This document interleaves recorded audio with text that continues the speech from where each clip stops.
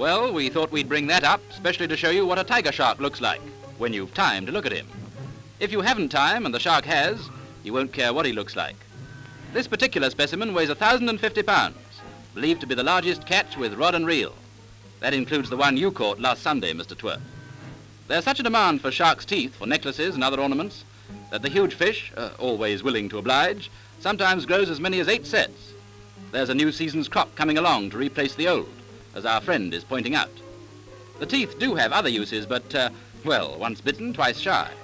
Those wide open spaces can be a little too wide and too open, don't you think? Come along now, fall in,